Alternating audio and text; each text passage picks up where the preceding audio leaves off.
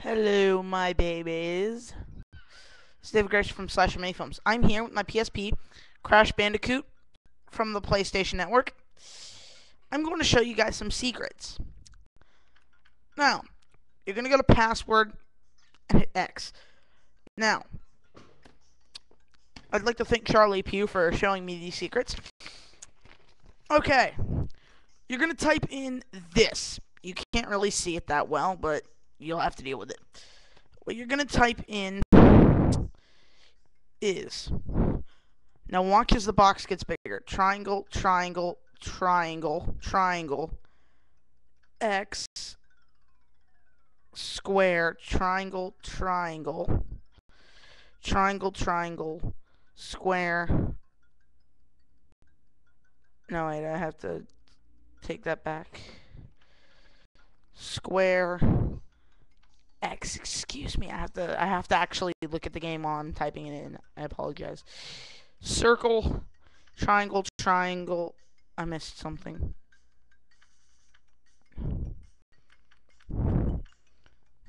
Triangle, circle, triangle, triangle, triangle, circle, square, square, er, no wait. I'm making a lot of mistakes, so I apologize. Triangle, X, X, X, X. Oh, get this. That is a 24 digit code. It should say this, you have everything complete. After you do said code, you're going to hit X, where it will bring you to your map. From your map, you are going to go to a level with the name Castle Machinery. Um, you're going to hit X. It's Alright. From here, I'm sorry, this is going to be hard for me, but you're going to go like this, and you're going to, you're going to jump on to this, and where you will be brought to a platform with 30 Bandicoot lives. I'm sorry. It's, the camera is, the camera is misleading my vision.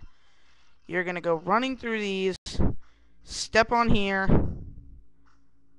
and jump through the exit. So not only do you complete the level through shortcut, you also get 30 extra lives. You will make a mistake in this next part. This I have to do this for, or else I know for a fact I will make a mistake. So this will take a little bit for me to do. Alright. Alright. Now watch.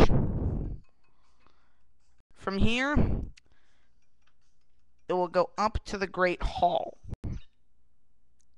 I'm watching the video up here, so I know y'all can see it. Alright. Now you saw a gem that floated by. One, don't make that mistake. Go forward and then turn around. What you're going to do is when that gem comes back again, you're going to jump onto the gem and turn around. You're going to jump to this gem, which is stationary. Unlike the past things you step on in midair, it's not going to fall out from under you. You're going to go ahead and you're going to go through here. Now note that this is the level before you go to Dr. Neo Cortex. And you can only do this if you have the game completed. That's why I gave you that code. Also, because when 3D animation was young, like when this game came out in 1996, it became misleading. So, note that that was the end of the level back there. And then you, from there, you'd go on to beat Neo Cortex. But I'm going to show you through this way a way that you can go ahead and beat the game without beating Neo Cortex. And to save that torture for another game. A la Final Fantasy VII. Or another over budgeted complicated piece of shareware like that. But, um, well worth the money. Alright. You're going to continue to jump onto these little gems. Alright. From here, you see Crash's girlfriend, who was too unpopular to appear in the other games. You're to walk over, he jumps into the air, starts cheering, and they fly away. the game's over. Now, final summation you can beat the game without actually beating the game. That's about it. Anyway, um, as a quick added Easter egg, I could I could sort of say is an Easter egg. I have something else weirdly ironic to show you guys today. Give me just a second. I really hate this webcam. No offense to you, Mom, but I hate this webcam. Hi, Mom! Say hi! That's my mom in the background. Anyway, and my webcam fell. Alright, what you're going to do is you're going to go through the credits like this. It shows all the villains and what they went ahead and I don't have time to read these to you. I honestly I don't have time to read these to you. Um, you're gonna go ahead and you're gonna do this. Gonna show. Yeah, pinstripe, baby! Pinstripe's awesome. Anyway, but this game came out in 1996. The first person to find this specific thing, they didn't find it until 98, two years after the game came out, and one year after Crash 2 came out.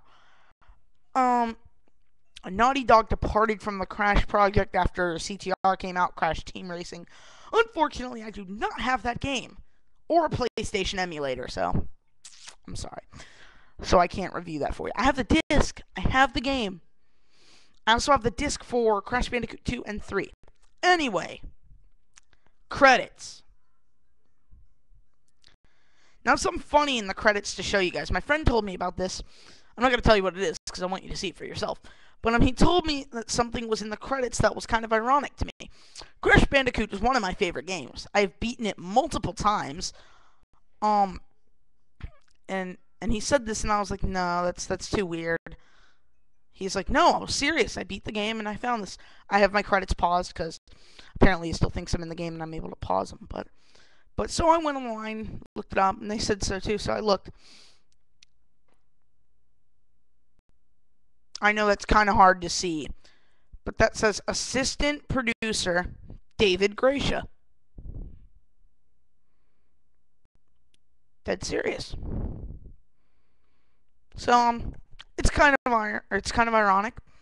It's one of my favorite games, and it's on there. So. Watching the delay on the camera. But um, all right, that's about it.